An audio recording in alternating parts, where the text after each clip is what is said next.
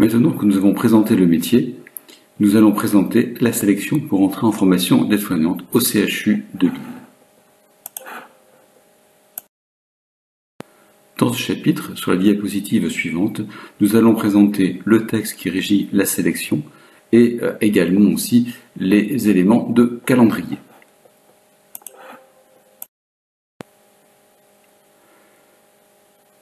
La sélection est donc régie par deux textes, l'arrêté du 7 avril 2020 et l'arrêté du 30 décembre 2020, avec des adaptations liées à la crise sanitaire. Dans ce premier point, vous voyez qu'il est nécessaire de constituer un dossier, puisque la sélection se fera principalement sur ce dossier, et que, exceptionnellement, dans l'adaptation de la crise sanitaire, il n'y aura pas d'entretien oral en 2021. Concernant la composition du dossier, je vous demande de vous référer sur le site à la liste des pièces qui sont demandées. Je vous demande donc de vérifier et de déposer un dossier complet, puisque la complétude du dossier est un élément de la sélection. L'évaluation cette année se fera par deux cadres formateurs, toujours dans le cadre de l'adaptation liée à la crise sanitaire.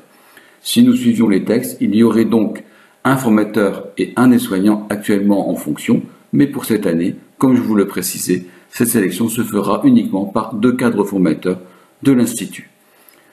Pour ce dossier, nous aurons une grille d'évaluation qui est commune à l'ensemble des instituts de formation aides-soignants de la région rentrant en septembre. Et cette grille reprendra à la fois la qualité, la composition et le contenu du dossier. Dans le deuxième point, je vais aborder avec vous le calendrier. Le dossier d'inscription est disponible sur le site de l'IFAS du CHU de Lille. Il est à noter que la date limite d'inscription est le 25 mai 2021 à minuit, le cachet de la poste faisant foi. Aucun dossier arrivant ultérieurement à cette date ne sera admis. L'envoi du dossier se fait uniquement par courrier et donc, compte tenu de la crise sanitaire, aucun dossier ne sera remis physiquement au secrétariat de l'Institut. L'examen des dossiers aura lieu entre le 26 mai et le 18 juin, selon donc la grille d'évaluation commune aux IFAS de la région rentrant en septembre.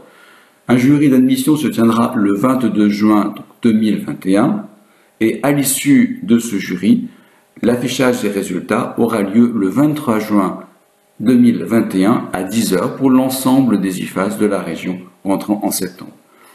Il est important de noter que vous avez validé votre inscription avant le 30 juin 2021 à minuit, par mail ou par courrier. Il est important que nous ayons cette validation, sinon votre dossier ne sera pas retenu, vous serez considéré comme laissant votre place et nous ferons donc appel à la liste complémentaire. J'insiste encore une fois sur la nécessité de répondre aux critères de la composition du dossier, qui est un élément essentiel de la sélection.